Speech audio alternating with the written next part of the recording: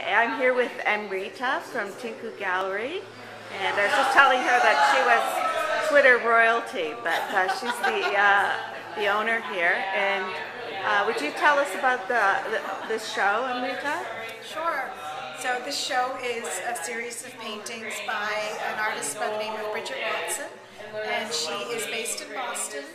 And I met her about uh, 10 years ago almost when I was living there, and I took some painting classes with her and just really loved her work and also just really liked her approach to uh, introducing people like me who are new to art, you know, really helping us develop an appreciation for it. And so this show is really, it's called The Ground Beneath Her Feet, and the title is taken from a passage from a Salman Rushdie novel. Um, and really what this show is about is depicting uh, moments in Brigid's past that have occurred in different cities around the world, and so each of the paintings is named after a particular place. And it's really her way of working through what happened in that experience. And so the best way to describe it is these paintings express uh, Brigid in that particular place uh, in that moment in time. If you could choose any of these palettes for your next dress, which one would it be? Oh, that's a great question. Let me thought. That's a great question. Would you be designing the dress? Yes. Okay, I, I'm gonna have to go with the. I'm gonna go with that one. Yeah. No, the one next to it. Oh. Yeah, yeah, yeah, yeah. What about you? Um, I would probably go with this green. In the middle. Yeah. How come? I think those colors Would are that nice agree? for this time of year. And I'm finding that I really like wearing, you know, wearing black right now. I do. I do actually. Everybody, I really enjoy vibrant color.